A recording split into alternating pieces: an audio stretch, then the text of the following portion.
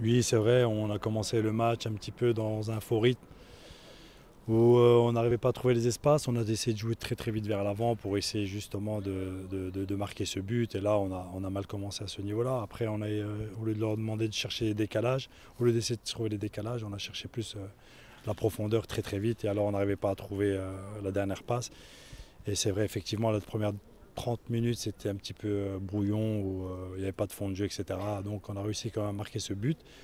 À deuxième mi-temps, on a remobilisé un petit peu tout le monde. Et, Ja, op zich eh, is tijdens de rust gewoon gezegd van ja, goed die organisatie proberen te houden en eh, een beetje meer gaan schuiven, de flanken en zo. Maar ja, dan eh, gaan zij in de tweede helft direct doordrukken en dan valt 1, allee, de 2-1, de 3-0, allee, 2-0, 3-0 en ja, dan is het over eigenlijk. Hè. Dan eh, is het gewoon nog maar de wedstrijd uitspelen en zien dat we niet te veel binnenkrijgen. Eigenlijk het voornaamste wat we konden doen met de tien spelers die nog overbleven, was eh, de druk blijven houden, de organisatie blijven houden.